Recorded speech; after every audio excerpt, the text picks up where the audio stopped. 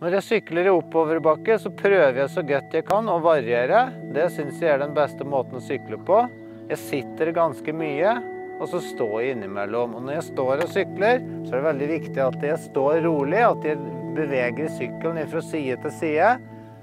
Drar i styret fra side til side, da får jeg en god motbevegelse, og sykkelen blir kjappere. Det koster nok litt ekstra krefter, men det går atskillig fortere.